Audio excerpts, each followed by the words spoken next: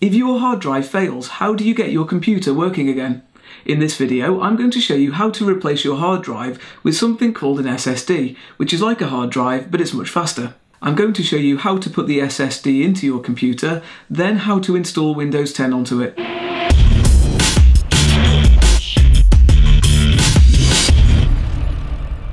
This is Dave's Tech Rescue, where I solve your problems with computers, internet, and technology. If you have a question you'd like to ask me, leave it in the comments below and I'll do my best to answer it. And remember to subscribe so you don't miss my next video where I might be answering your question. Today's question My computer won't start up and I think the hard drive's failed. How do I replace the hard drive with a new SSD and install Windows 10 on it? I'm going to be replacing the hard drive on this HP notebook, but what I'm showing you should work on most laptops and desktops. First of all, let's see what you're going to need. Obviously you'll need to buy an SSD, so pick one from a reputable brand such as SanDisk, WD or Kingston. Buy one with enough capacity for your needs.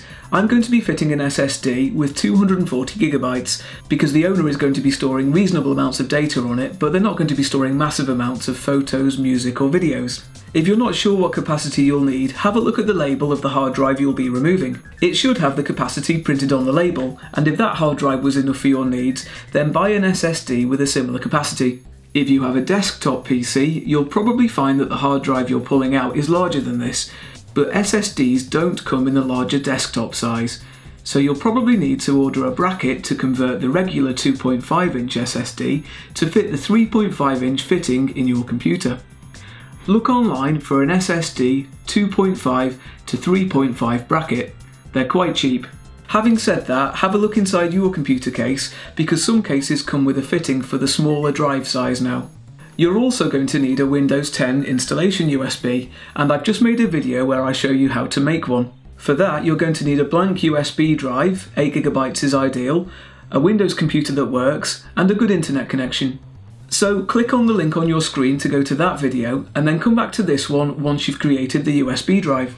Next you'll need a good screwdriver set, and you can find out which screwdrivers you'll need in the service manual. More on that shortly. And if you're doing this on a laptop, you'll need the charger when we get round to installing Windows, because it's going to take a while. On some laptops it's really easy to remove the hard drive. If you turn it upside down and look at the bottom, you'll find a panel that you can unscrew and the hard drive is just inside.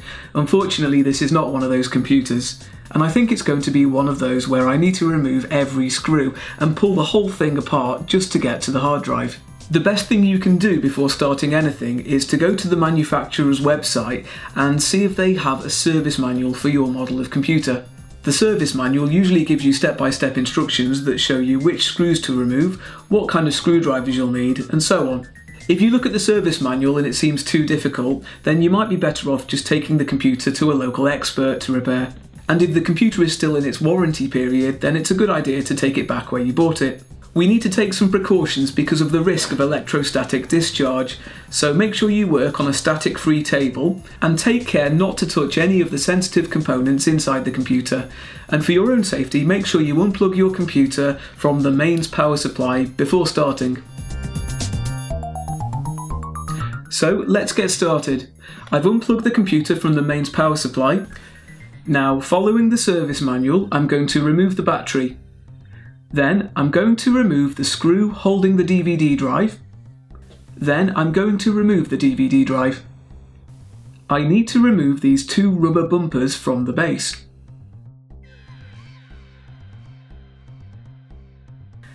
Now I'm going to remove all the other screws from the base.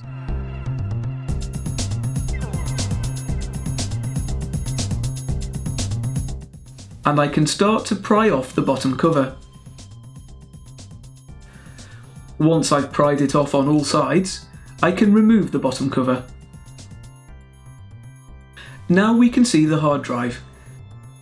It's connected to the system board by this cable, so I need to unplug the cable. Next, the hard drive is secured by three screws, so I need to remove them.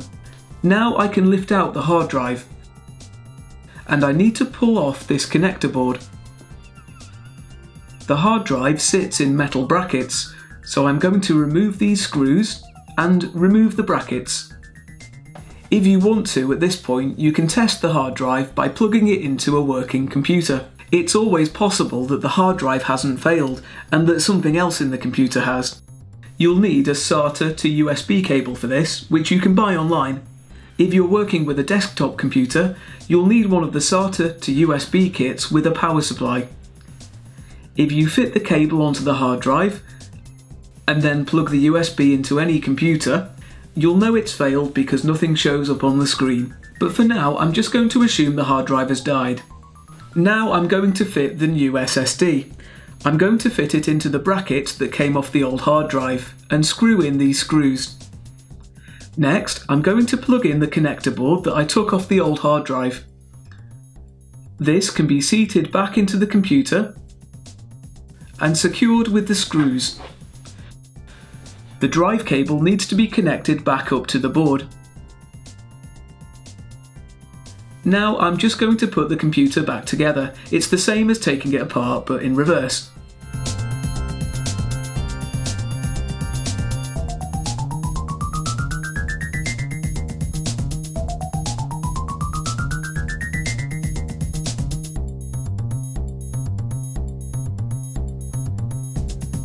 Finally, I can plug in the charger and we're ready to install Windows 10.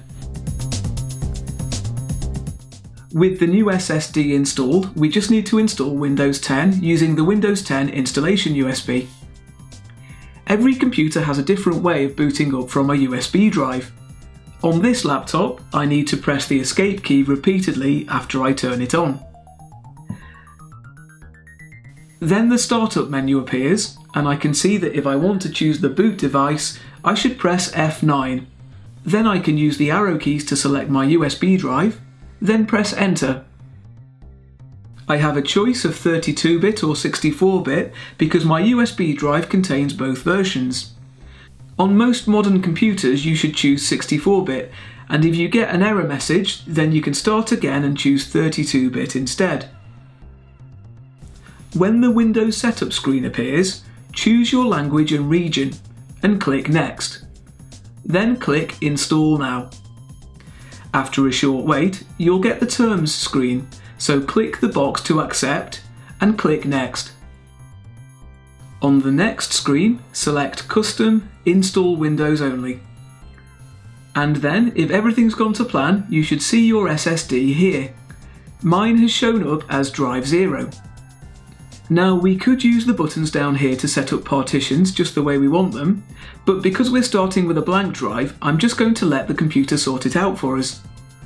So click Next. Now you can go and do something else while Windows gets installed. This will take about 20 minutes. When you see the screen asking for your region, Windows 10 has been installed. Just follow the setup questions on screen and you'll eventually get to the Windows desktop. At this point, you should leave your computer connected to the internet while it downloads the drivers it needs and the latest updates. Normally, an hour will be long enough. So, how did that go? Please let me know in the comments below how you got on, and if you found this video helpful, please give it the thumbs up. If you'd like to see more tutorials like this from me in future, click on my face below and then hit the red subscribe button. And while you're here, why not check out one of my other videos? Thanks for watching, and I'll see you next time.